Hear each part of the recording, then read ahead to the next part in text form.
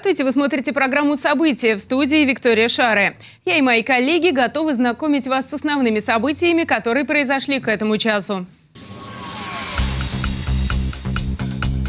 Триумфальная арка и памятник первому директору спиртзавода. В Новокуйбышевске отметили юбилей города. Два новых автобусных маршрута в Самаре. По отремонтированной Дебенко уже завтра пойдет общественный транспорт. О любви не только артисты новой творческой площадки «Самары Арт-элеватора» погрузили публику в атмосферу чувств.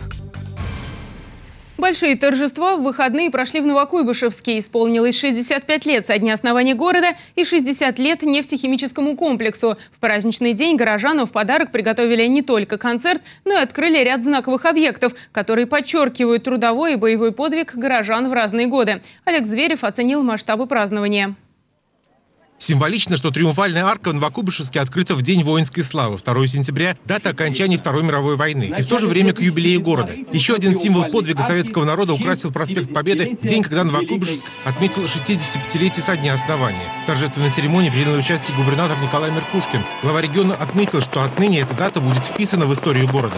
И я уверен, пройдет десятилетие, столетие, будущее поколение эту память никогда не забудут. Триумфальная арка классической формы высотой 15 метров. Ее украшают 700-килограммовые барельефы. Сооружение заложили накануне 70-летия Великой Победы по инициативе ветеранов Новокуйбышевска, а деньги собирали всем миром.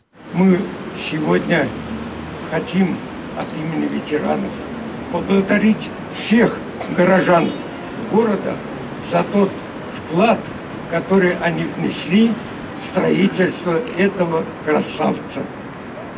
Прекрасное сооружение, прекрасный объект.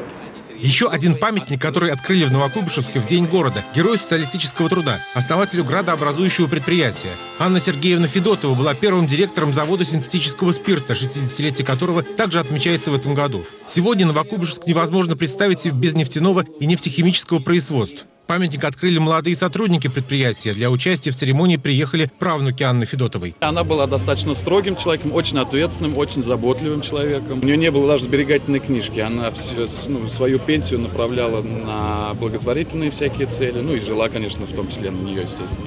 А вот официальное открытие нового ледового дворца в Новокуйбышевске состоится в конце ноября. Это будет единственная крытая ледовая арена в Новокуйбышевске. Сегодня дворец готов уже на 85%. Глава региона отметила, что в нынешнем виде пространство на трибунах используется нерационально. При желании можно установить дополнительные посадочные места. Края можно было еще по одной тоже поставить. Везде вот так в одном месте, во втором еще 100 мест. Одна, согласна. Даже 150 мест. Торжественная часть праздника проходила на стадионе «Нефтяник». Юбилей города, в котором каждый третий взрослый человек трудится в нефтяной промышленности, имеет особое значение для всего региона. Задача сделать Новокуйбышевск самым благоустроенным городом, чтобы новые поколения горожан также гордились своей малой родиной. Почти 15 тысяч человек новокуйбышевцев работает в отрасли нефтяной, нефтяной и газовой промышленности. Конечно, это даже для Самарской области очень много. А если брать всю Самарскую область, то почти 30 тысяч человек работают у нас в этой отрасли людей. Это основа нашей экономики, это основа нашего бюджета, и это основа нашего развития. Глава региона вручил правительственные награды лучшим сотрудникам, тем, кто внес наиболее весомый вклад в развитие предприятия и города в целом. Поэтому город, безусловно, наш, родной, связь мы с ним никогда не теряли, по возможности стараемся помогать. Город, безусловно, меняется. Улицы благоустраиваются, значит, благоустраивается сам город. А завершились торжества уже поздно вечером. На стадионе состоялся праздничный концерт, после которого город украсили залпы фейерверка. Олег Зверев, Константин Головин. События. Готовь сани летом. Самара вступила в завершающий этап подготовки к зиме. Опасений в том, что в городе отопительный сезон начнется с опозданием, нет. Сегодня эта тема стала одной из главных на совещании в городской администрации. Подводят итоги сезона и дорожники. Большая ремонтная кампания завершается. Стали удобнее не только сами улицы. Изменится и схема автобусных маршрутов. Олег Зверев продолжит. Отопительный сезон в Самаре начнется в штатном режиме. Сегодня работы вышли на финишную прямую. Город к зиме практически готов. Для успешного пуска тепла в квартиры и на социальные объекты подготовлено больше тысячи километров тепловых сетей, 285 центральных пунктов, 103 котельные. Такие данные были озвучены на сегодняшнем совещании в городской администрации. До середины ноября Самара получит паспорт готовности к зиме. Однако городские службы должны быть на чеку. Прошлогодний опыт показал, что холода могут наступить в любой момент. Ну и, коллеги, расслабляться нельзя. Значит, предыдущий сентябрь, годовой давности, он показал, что похолодание может быть досрочным, скажем так. Поэтому, конечно, вот то, что было обнаружено в субботу-воскресенье, о неработающих бригадах на участках, значит, этого быть не должно. Значит, контролируйте. Значит, это обязательно нужно все довести дома. Максимально хорошую погоду использовать. Успешно завершается и дорожно-строительный сезон. За лето привели в порядок важнейшие улицы, в том числе в рамках подготовки к чемпионату мира по футболу. Приемка работ проходит повсеместно с участием представителей общественности. Глава города поручил особое внимание уделять состоянию газонов, чтобы строители вовремя убирали за собой мусор. А там, где обустройство зеленой полосы входит в план комплексного ремонта, важно, чтобы их состояние отвечало нормативным требованиям. И уже завтра изменится схема движения автобусов. Они пойдут по отремонтированной улице Дебенко на участке от Авроры до советской армии, там, где раньше общественного транспорта не было никогда. Это вопрос газона, это вопрос знаки, это вопрос разметки, это вопрос, где необходима установка светофоров. На Олег Борисович для информации, по Дыбенко с завтрашнего утра мы поехали общественное движение, два маршрута открываем в данной ситуации. С завтрашнего дня едем с утра по измененному маршруту, это вот то, что было обещано и губернатором, и вами по улице Дыбенко. На улицу Дыбенко переносится движение автобусов номер 35 и 45, которые до этого выходили по улице Антонова Овсеенко. Олег Зверев, Артем Сулайманов. События.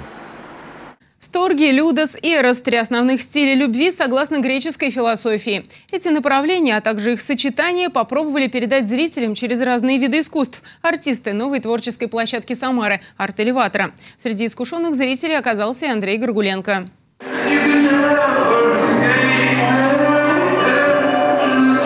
Саркис и Карина танцами занимаются с самого детства, а потому их импровизация смотрится как хорошо продуманная постановка. Танцевальный дуэт признается, они не любят долгих репетиций, предпочитают сразу выносить свои эмоции на публику. Так лучше получится передать зрителю такое сложное чувство, как любовь.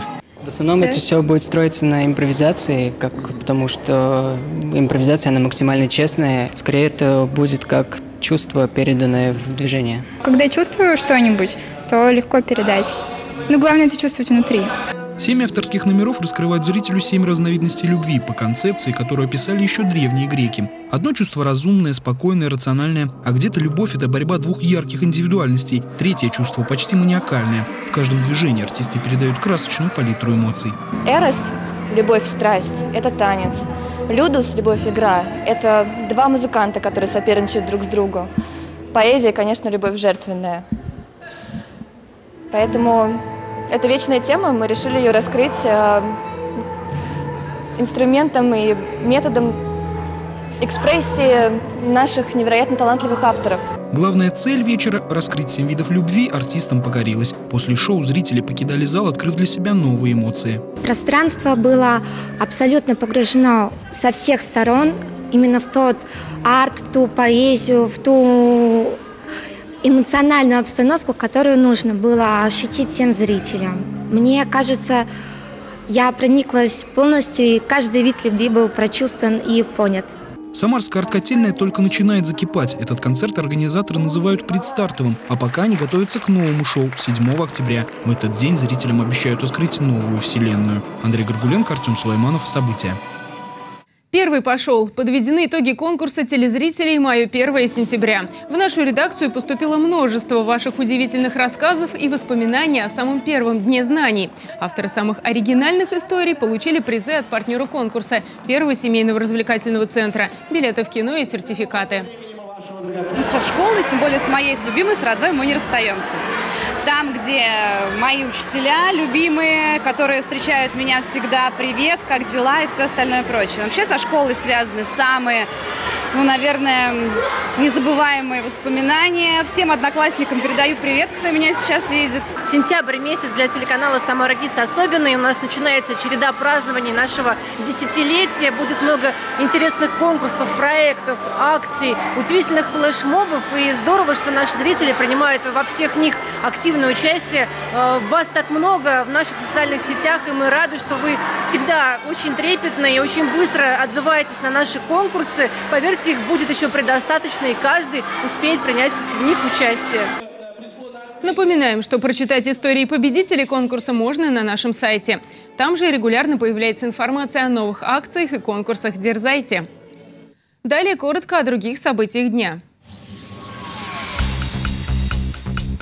В Оренбурге трое болельщиков Крыльев Советов устроили драку с полицейскими. На фанатов завели уголовное дело. Инцидент произошел вечером 2 сентября на стадионе «Газовик» в поселке Ростоши города Оренбурга. В тот день там проводился футбольный матч между Оренбургом и Крыльями Советов, который закончился поражением последних со счетом 3-2. Проигрыш несказанно расстроил самарских болельщиков. Успокоить дебаширов попытались полицейские сотрудники Росгвардии. Однако это оказалось весьма непросто. Фанаты вступили в бой. Известно, что нападавшим от 20 до 25 лет. В настоящее время решается вопрос об избрании меры пресечения сообщения.